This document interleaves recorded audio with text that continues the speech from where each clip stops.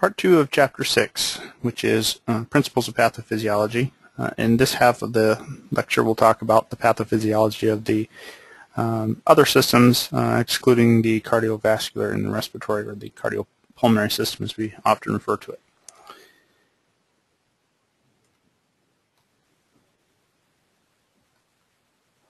So the fluid. Uh, fluid balance, of course, is huge uh, in the human body. Uh, that we have certain amounts of fluids that have to be in certain places in order for things to function appropriately. Uh, the body is uh, at least 60% water, and of that 60% water, 70% of that uh, is intracellular, 5% intravascular, and 25% is interstitial. So here's a, we'll take a half a split second here to uh, just discuss some uh, prefixes here, intra and inter. Intra means within, and inter means between.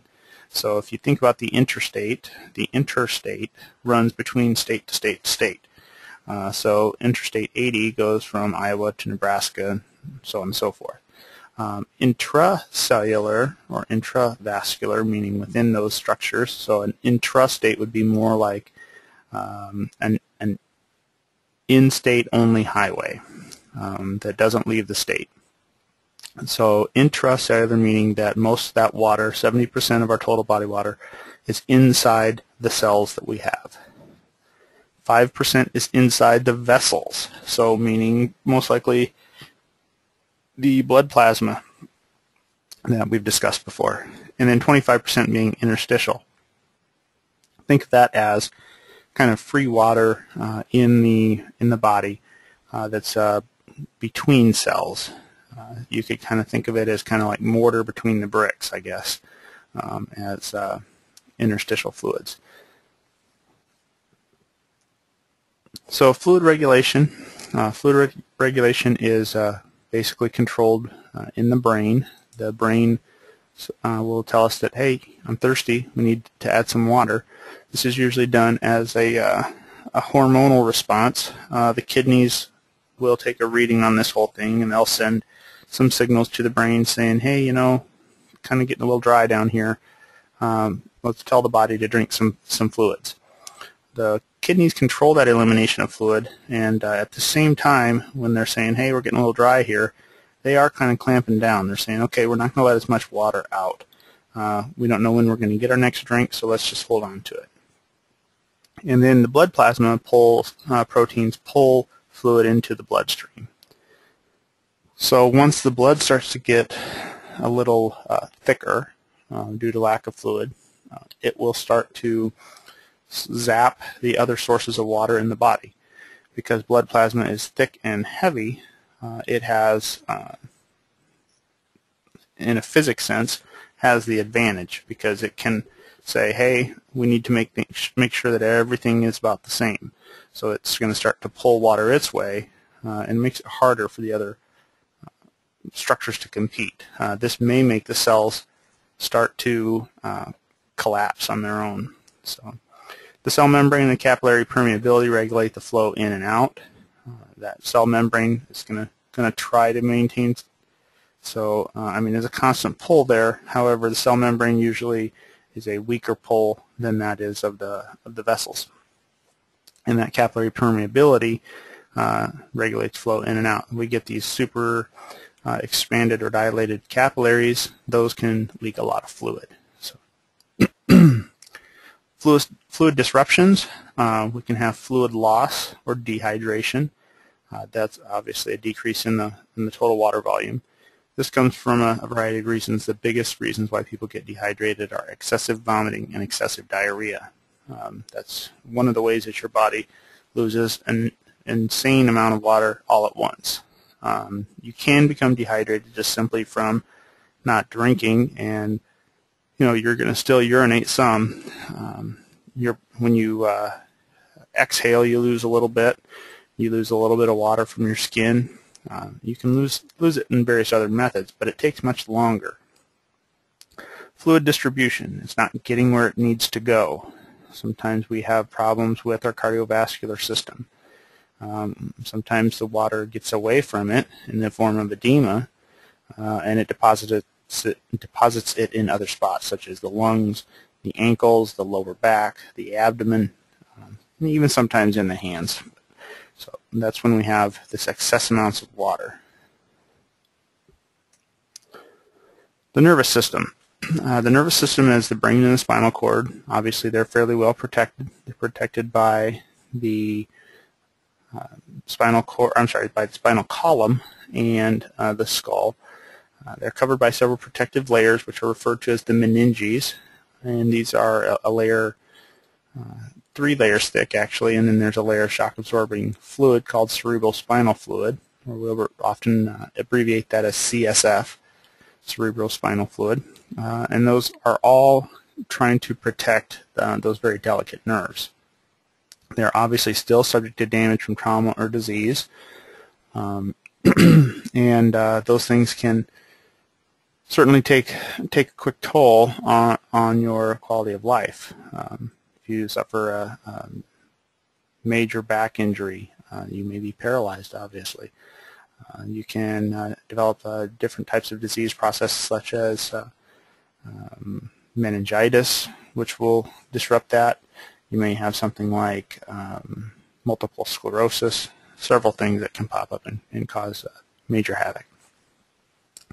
So that trauma, penetrating trauma to the head, uh, causes increased swelling uh, in there. The brain really doesn't have anywhere to swell, and it starts to push out through uh, any hole it can find there's really only one natural hole that's uh, large enough for anything to happen. That's the foramen magnum at the base of the skull, and that is where the brainstem uh, is, and, and, the spinal cord comes out. Uh, we may have damage to the spine. you don't have to sever the spinal column or the spinal cord for it to uh, to cause havoc. Um, all you have to do is put pressure on the cord. So if you put pressure on the cord, uh, they may have some paralysis, maybe temporary, maybe um, permanent and uh, you may have some swelling around there. So we get that swelling, uh, say from a back injury, maybe it's going to put some temporary pressure on there. So there's lots of reasons why trauma can be uh, a major issue here. Not to mention if you have a penetrating trauma to the head, say a gunshot wound, the tissue that's destroyed by that bullet tumbling through the brain is destroyed permanently. Medical causes of nervous system dysfunction, strokes, uh, infections. I brought up meningitis. Uh, meningitis is particularly uh, ugly disease in some of its forms. Uh, can be fatal. Uh, strokes, obviously, there's two different major types of strokes. There's one uh, that is a blockage, which causes areas of the brain to become hypoxic. The other is a major bleed, often referred to as a an aneurysm, brain aneurysm. And when that bleeding occurs, it's damaging tissue and it's increasing pressures. There are other diseases such as Lou Gehrig's disease, um, multiple sclerosis, diabetes will actually take a toll on the nervous system. Um, the, the, diabetes usually takes more of a toll on the uh, peripheral nervous system over time.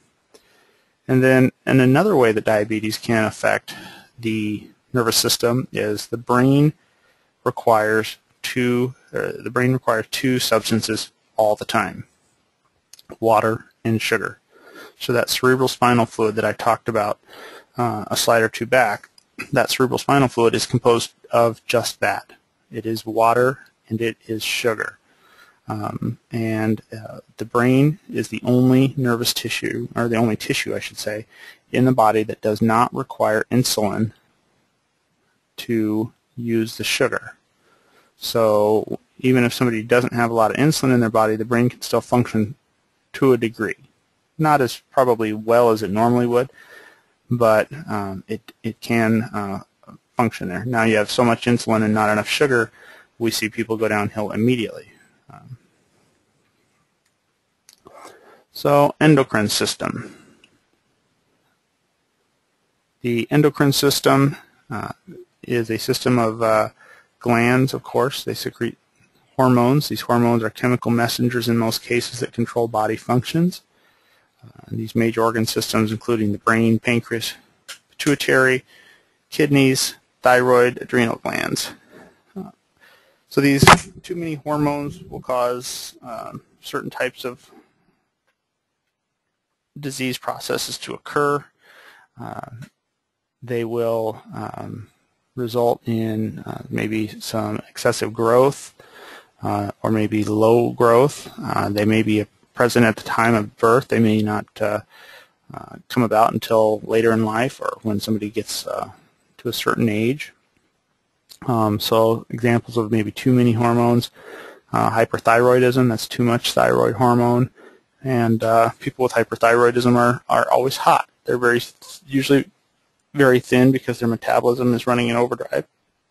Some of us, I think, would like to have a temporary hyperthyroidism. But uh, then we also can have problems with heart rate and temperature regulation with that too. They can get too hot. Their heart rate can go into overdrive, and that can be a, a big issue. Too few, too few, few hormones. Uh, diabetes, obviously, our biggest example there when we don't have enough insulin to do the job but there are plenty of others. Graves' disease, um, Cushing's disease. There's a thing called acromegaly. Giantism comes from too many hormones. Uh, acromegaly is when people actually are afflicted by the same process that causes giantism, except it's after they've stopped growing. So uh, they start to just get uh, heavier, thicker features as opposed to continuing to get taller and taller and taller. People with giantism are stricken by this before uh, they stop growing. Digestive system dysfunction. Uh, this is going to impact the hydration levels and the nutrient transfer.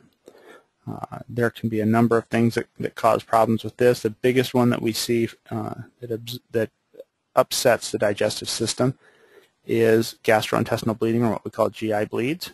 Uh, these GI bleeds can be uh, either slow chronic bleeding, such as something like ulcers, uh, that uh, are just generally kind of a naggy thing in most cases, or they can be massive. They can be a very ugly rectal bleed. Uh, you can have bleeds from high up in the uh, gastrointestinal system that cause you to um, constantly expel bright red blood.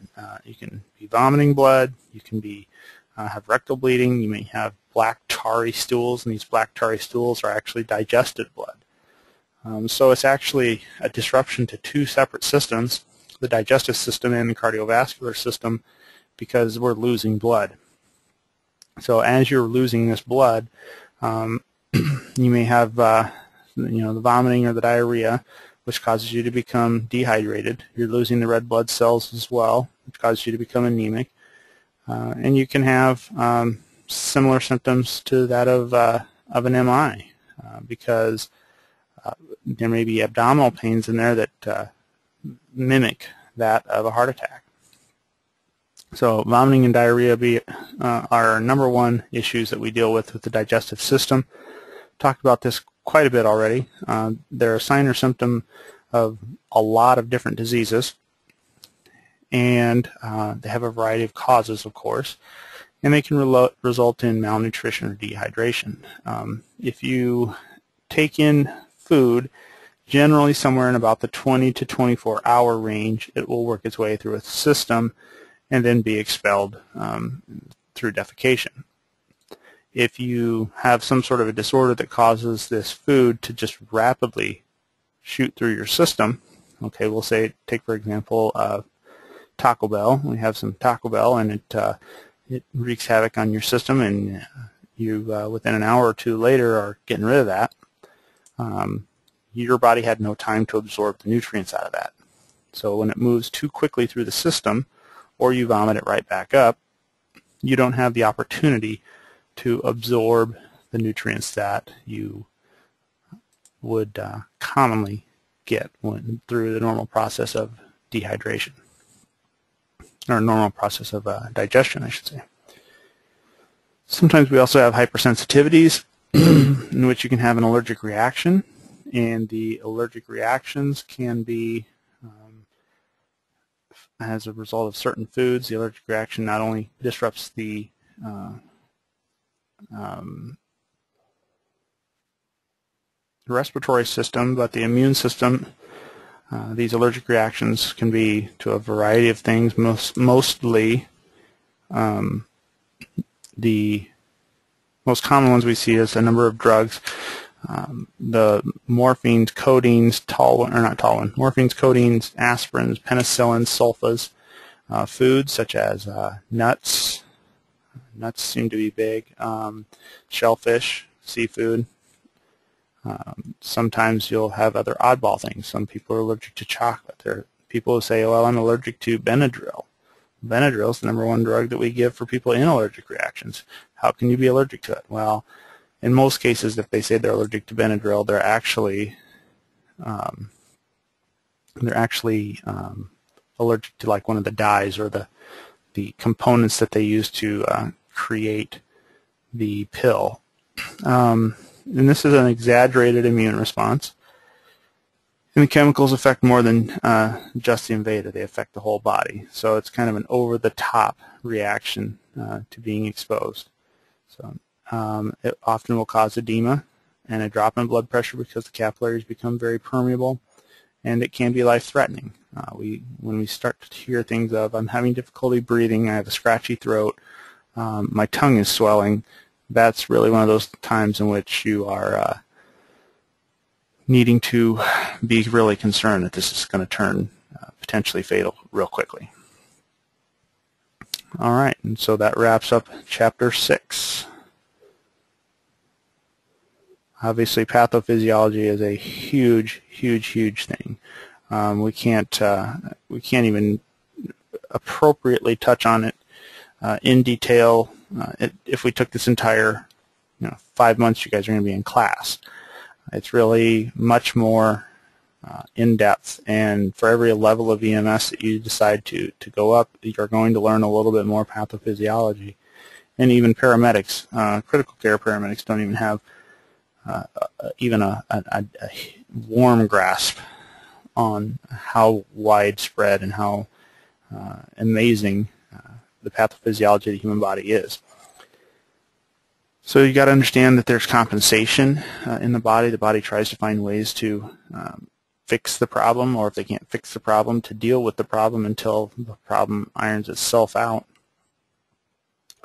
Obviously, cellular metabolism is huge we have to have the good stuff coming in, the bad stuff going out. Because uh, if we don't, then we have the potential for there to be um, a, a, real quick uh, change in the system and real quick uh, degrading of the patient's condition. Remember to look at shock a little bit more, how water can uh, is a component of that. And when evaluating a patient with a cardiac problem, consider the impact on the respiratory system. When evaluating a patient with a respiratory problem, consider the impact on the cardiovascular system. This is really huge. We have to remember that they affect each other almost immediately. When one has an issue, the other generally gets involved. Okay, shock has to be recognized immediately. So what is pathophysiology of shock? You guys can take a look at that. And if you're treating a patient who's recently released from the intensive care unit with a massive infection, which is referred to as sepsis, this has impaired the patient's ability to regulate the size of their blood vessels. How might this affect the patient's ability to compensate for any additional illnesses? And what steps could you take to help this patient compensate?